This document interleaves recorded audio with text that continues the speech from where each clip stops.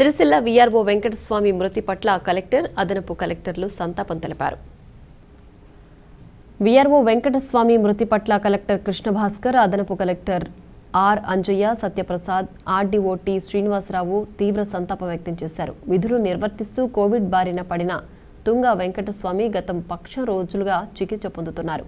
కోలుకుంటున్నాడు అని భావిస్తున్న తరుణంలోనే ఆరోగ్య పరిస్థితి విషమించి శుక్రవారం రాత్రి కన్నుమూశారు.